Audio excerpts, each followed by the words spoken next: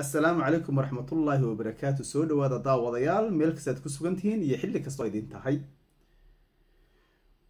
waxaan jeclaan idinla wadaago muuqaal aan anigu aada ugu bogay. Aada iyo aad. Muuqaalkaas wuxuu xambaarsan yahay fariin wacyi dhis ah wacyigelin ama wacyi dhis.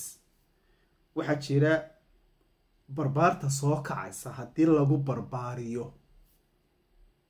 wax dhantaalaya is ahaanshahooda haddii ay looga tago tagto ku beeraysa kala qaybsanaan kala dilaysa oo aan midaynayn waxaa mugdi gelaya mustaqbalkooda iyo halkay u socdaan. Siyaasi maxamed nuur caraara duur. Ilaayaa barakeeyo maasha allah hadal uu habeen dhowta ka jeediyey buug hargeysa lagu soo bandhigay. Buuggii laga qoray suugaantii gabyaa ilaahay u naxariistee cali jaamac haabiil hadal uu ka jeediyey inta ugu dambeysa ayaan runtii aada iyo aada ugu bogay. Waxa weyan hadalkiisaas waa hadal fiin ah fiinta. Sida fiinta wuxuu uga qayliyey dhalinyar inaan lagu beerin naxliga sheegaya kanaa sokeeya ku ah iyo kanaa sokeeya kuwa dad is ah in la sii kala guro. Kala gurista dadka waxaa looga dhacaa ceeb iyo ayaan daro marka waxaan jecelahay inaad ila bogataan. Waxaanu hadalkiisa ka soo bilaabayaa dagaaladii waddanka ka dhacay inay xadaaradihii ummadda burburiyeen. Kadibna ay dagaaladaasi ka tegeen ina dadku kala qaybsamaadaan ay kala qaybsamaan somalilan markii dib loo yagleelay ee dib loo soo noqotay madax banaanideedii dagaal baa ka dhacay. Haddana markii dambena dadku markay degeen dadka in waliba dhalinyartii dee kacaysay in waliba deegaankooda ay ku barbaartay. Marka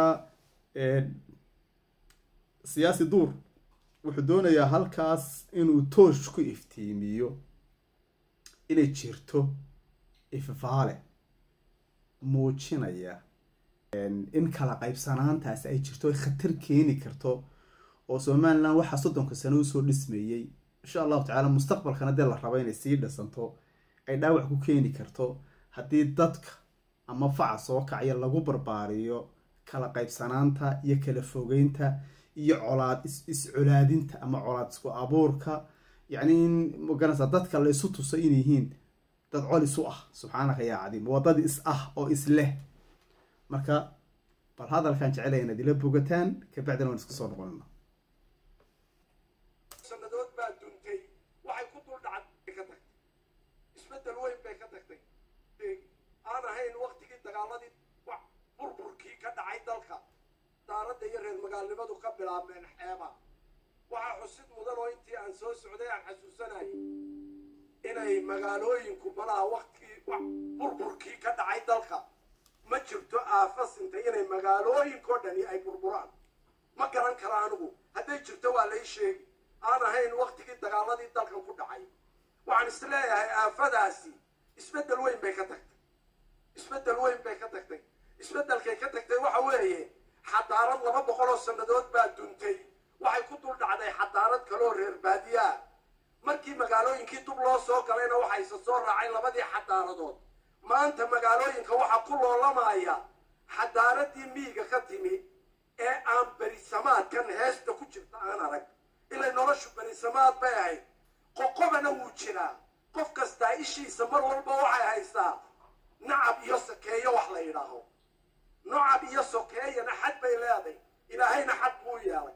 Alwalaa walbaraa ilaahay wuxuu yeelay inay dadka muslimka oo dhani walaala yihiin gaalkuna cadow yahay. Laakiin ummadda aragtideeda maalinba meel bay joogtay waxa la yidhaaho hebel waa sokeeye oo waa isxigtaan.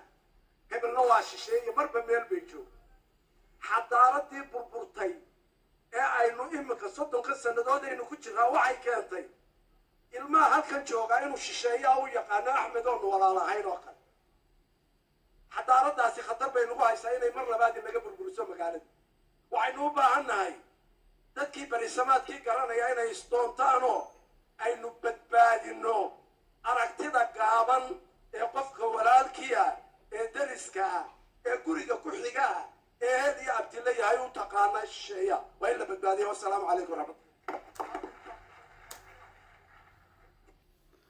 waxaan jeclay inaad aada iyo aada uga bogateen fariintaa qaaliga ah oo inala wadaagay maxamed nuur caraala duur oo horena somalilan xilo laga soo qabtay mar xildhibaan ahaa marna wasiirkii arrimaha gudaha ahaa kana mid ah siyaasiyiinta aragtada dheer ee sida tulaaluhu ku jira waxu cabira waxa weeyaan halkaa uu dhigay waxa mudan dadka sidiisoo kale inay bulshada la hadlaan ay dhalinyarta la hadlaan oo dhalinyarta wacyigooda la dhiso oo dhalinyarta aragtidooda la dhiso oo ereyga ereyga uu abbaaray ah qoqobnaanta.